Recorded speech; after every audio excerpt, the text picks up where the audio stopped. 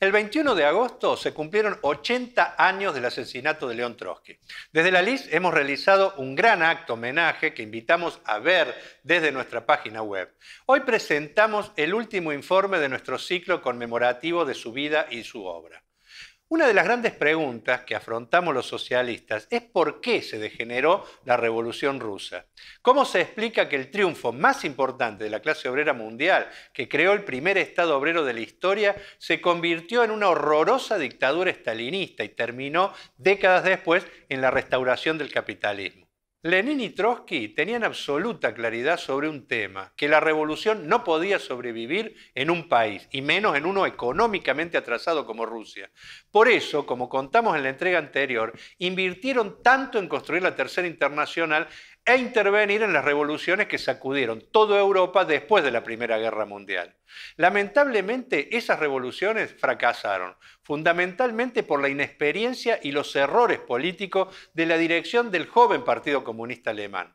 A diferencia de los bolcheviques, los revolucionarios alemanes, entre ellos Rosa Luxemburgo y Karl Liebknecht, nunca comprendieron la importancia estratégica de comenzar a organizar a los revolucionarios dentro de los partidos socialdemócratas y la Segunda Internacional, que estaban dirigidos por reformistas que se habían adaptado al Estado burgués y sus instituciones. Cuando los dirigentes reformistas traicionaron en 1914 a la clase obrera apoyando la guerra imperialista y tuvieron que romper, los revolucionarios estaban dispersos, desorganizados, y en vez de encarar la construcción de un partido como el que proponía Lenin, decidieron unirse como a la izquierda al Partido Socialdemócrata Independiente que fundó el centrista Karl Kautsky. Estas vacilaciones de los revolucionarios hizo que recién en diciembre de 1918 se fundara el Partido Comunista Alemán, casi al mismo tiempo que la situación se aceleraba y terminaría en el estallido de la primera revolución alemana en 1919. Su dirección, joven e inexperta, cometió muchos errores y fue masacrada por la contrarrevolución del gobierno socialdemócrata, que acababa de llegar al poder. Los asesinatos de Rosa Luxemburgo y Karl Liebknecht y otros debilitó aún más a los comunistas alemanes, que a pesar de construir en poco tiempo un partido de masas, tuvo una dirección débil y de poca confianza en sí mismo. Sus vacilaciones y errores llevaron a que también se perdiera la oportunidad de la segunda revolución alemana en 1923. Con el reflujo que sobrevino después, la Rusia soviética quedó aislada. Al mismo tiempo, en la joven Unión Soviética, el ejército rojo, comandado por Trotsky, salía victorioso de la guerra civil contra las fuerzas contrarrevolucionarias y los ejércitos imperialistas, pero un costo altísimo. El país quedó devastado y su economía en un estado de colapso total. Venían de la guerra mundial, un año de revolución, tres más de guerra civil. La industria estaba al 20% de lo que producía antes de la guerra. La mitad de la clase obrera se había vuelto al campo para intentar sobrevivir en medio de una hambruna generalizada. Lo mejor de la vanguardia, los trabajadores más conscientes, más radicalizados, los revolucionarios, habían estado al frente en la guerra civil y muchos habían muerto. Los que no habían sido absorbidos por las tareas administrativas y políticas de gobernar el masivo país. Construir el socialismo sobre esas bases era completamente imposible. ¿Qué hacer en esas difíciles circunstancias? Fue un debate importantísimo, que hoy tal vez no es tan conocido. Durante la guerra civil, los bolcheviques aplicaron el comunismo de guerra, requisando toda la producción del campo y centralizando toda la economía en función de ganar la guerra y defender la revolución. Esto generó descontento en el campesinado y un desgaste del apoyo que él mismo le había brindado a la revolución bolchevique. Para resolver el terrible desabastecimiento que quedó tras la guerra civil, el gobierno bolchevique implementó la NEP, la nueva política económica, concediéndole a los campesinos, para incentivar su producción, un mercado limitado para vender sus productos, lo cual generó otro problema, ya que algunos campesinos e intermediarios comerciales comenzaron a enriquecerse. Para contrarrestar el poder potencialmente restaurador de ese sector, los bolcheviques fortalecieron el Estado, a su vez concentrando más poder en la burocracia estatal. Estas medidas excepcionales debían ser temporales y de corta duración, pero surgió un sector de la burocracia asentada en los kulaks, encabezada por Stalin, que buscó utilizarlas para aferrarse al poder. Lenin reconoció el peligro que significaba el creciente peso de la burocracia y se preparaba para enfrentarla, cuando en 1922 sufrió una serie de infartos cerebrales que acabarían con su vida en 1924. En su testamento, que se hizo público años más tarde, dejaba en claro que le preocupaba en particular el poder que concentraba Stalin y recomendaba su remoción de la conducción del partido. La tarea de encabezar la lucha contra la burocracia recayó sobre Trotsky.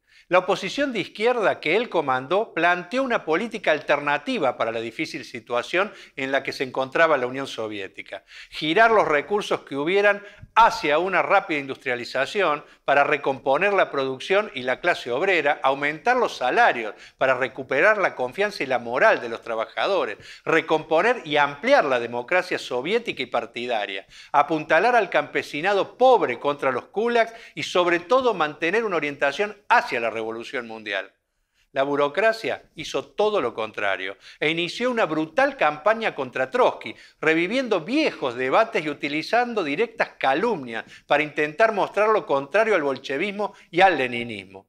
En el fondo, la burocracia había abandonado la estrategia de la revolución mundial y necesitaba desacreditar a Trotsky, que para las masas era el sucesor natural de Lenin y el que defendía la herencia bolchevique y la estrategia de la revolución internacional. Todo esto se evidenció trágicamente con la Revolución China de 1926 y 27. Contrario a lo que habían hecho los bolcheviques en 1917 y contrario a la táctica del Frente Único que los primeros congresos de la Tercera habían discutido, la dirección soviética le recomendó al Partido Comunista Chino disolverse bajo el mando de las fuerzas nacionalistas burguesas de Chiang Kai-shek. Cuando los obreros tomaron el poder en Shanghái, bajo la dirección del Partido Comunista, este le terminó entregando la ciudad al Kuomintang de Chiang Kai-shek, quien procedió a masacrarlos y enterrar la revolución. La oposición de izquierda luchó por una política revolucionaria en China y contra el curso general de la burocracia, pero ésta se asentaba sobre la realidad de un pueblo agotado y desmoralizado. Sin la presión de los trabajadores movilizados, utilizando el poder del aparato estatal y apoyándose en los nuevos privilegiados de la NEP, la burocracia desató una feroz persecución de la oposición y una verdadera contrarrevolución. En 1927 se produjo un punto de inflexión.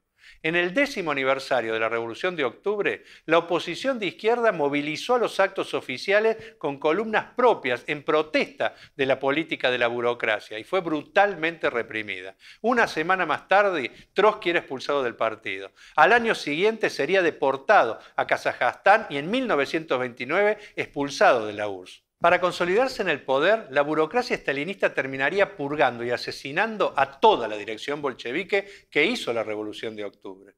Los principales cuadros fueron ejecutados en los procesos de Moscú entre 1936 y 1938, y cientos de miles de militantes y millones más terminarían pereciendo en los campos de trabajo forzado.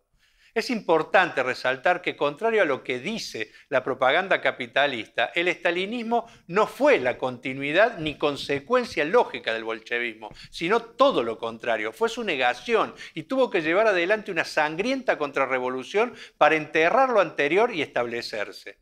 De hecho, la contrarrevolución estalinista revirtió todos los logros de la revolución rusa. Liquidó el control obrero y todo rastro de democracia obrera, incluso disolviendo los propios soviets.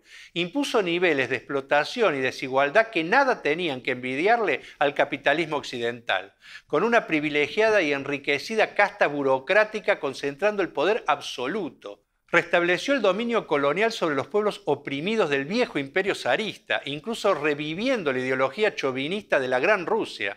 Volvió a ilegalizar el aborto y la homosexualidad y revirtió todos los derechos democráticos que había conquistado la revolución. Y abandonó por completo la estrategia de la revolución mundial, desarrollando la nefasta teoría del socialismo en un solo país, contra los principios más elementales del marxismo revolucionario. Trotsky, en su obra La Revolución Traicionada, advirtió que el estalinismo, de no ser derrotado, llevaría a la restauración del capitalismo, pronóstico que se confirmó trágicamente décadas después.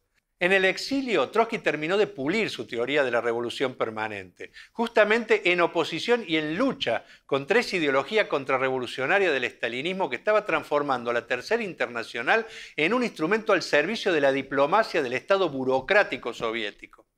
Tras la derrota de la Revolución China, el estalinismo adoptó una política ultraizquierdista y sectaria que se conoció como la del tercer período. Decía que los años de la Revolución Rusa y las revoluciones de posguerra en Europa habían sido un período revolucionario, que los años posteriores a la derrota de la Revolución Alemana habían sido un segundo período contrarrevolucionario, pero que ya se abría un tercer período en el que la revolución era inminente.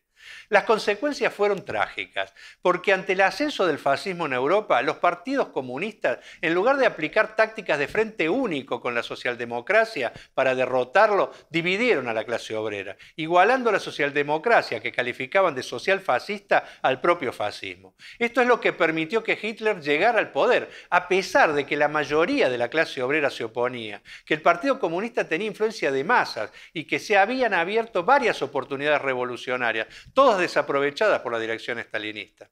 Trotsky escribió una y otra vez advirtiendo a los comunistas alemanes con creciente preocupación y desesperación sobre la gravedad de sus errores y el peligro que significaba Hitler y el fascismo. Y fue la llegada de Hitler al poder en Alemania lo que lo convenció finalmente que la Tercera Internacional era irrecuperable y había que construir nuevos partidos revolucionarios y la Cuarta Internacional.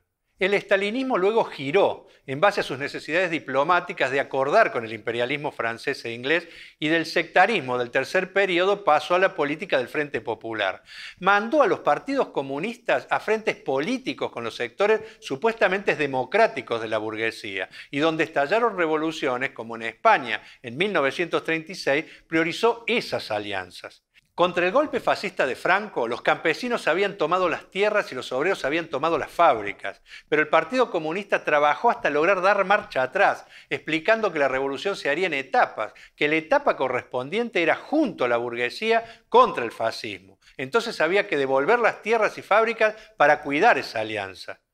Trotsky escribió profusamente sobre la revolución y guerra civil española, enfrentando la política estalinista e intentando incidir. Incluso terminó rompiendo con el partido que se relacionaba con él, el POM, cuando éste terminó entrando al gobierno del Frente Popular en Cataluña. El estalinismo traicionó, abortó o desvió cuanto proceso revolucionario se desarrolló en el mundo durante largas décadas.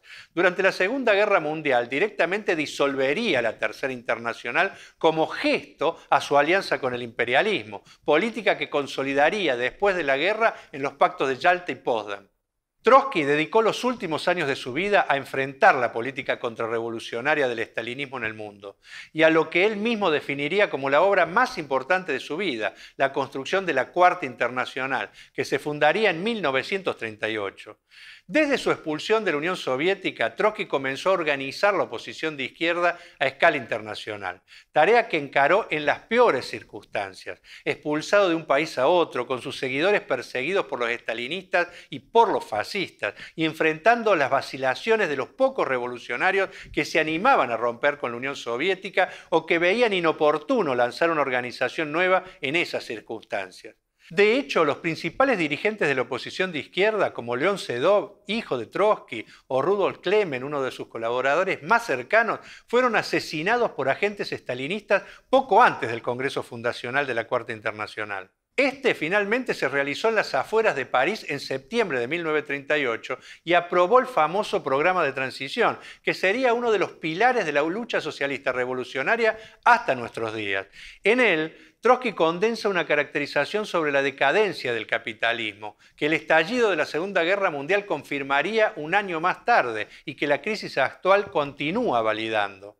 Al mismo tiempo, sentencia que aunque las condiciones objetivas para la revolución estén más que maduras, no alcanzan sin el factor subjetivo, sin un partido revolucionario que la dirija. En sus palabras, la crisis de la humanidad se reducía a la crisis de su dirección revolucionaria y propone un nuevo método de intervención política, que partiendo de las necesidades inmediatas del proletariado y escalando a las intermedias, lo lleve al enfrentamiento global con la lógica del capital y el poder burgués. Trotsky mismo no pudo participar del Congreso Fundacional de la Cuarta. Tras ser expulsado de Turquía y Noruega y que diversos países le negaran el visado, el México de Cárdenas lo aceptó, a pedido de los famosos artistas Diego Rivera y Frida Kahlo, que militaban en el Partido Comunista pero estaban enfrentados con su dirección y acogieron a Trotsky y su compañera Natalia Sedova.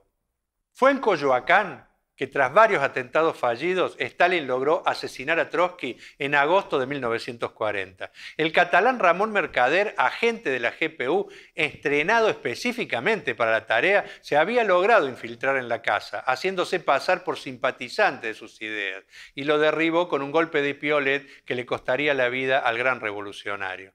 El legado de Trotsky es invaluable para los revolucionarios de hoy. Sin su incansable labor se hubieran perdido las lecciones y conclusiones de más de un siglo de lucha de clases. La tradición marxista revolucionaria, la bolchevique, la leninista sobrevivió a través suyo. Y los revolucionarios de nuestros días no tuvimos que empezar de cero. Este es el motivo de última instancia por lo cual reivindicamos la vida y obra de León Trotsky. A 80 años de su asesinato, Trotsky está más vivo que nunca y sigue provocando el mismo odio y terror entre la burguesía, las burocracias y los reformistas que el que les provocó durante toda su vida.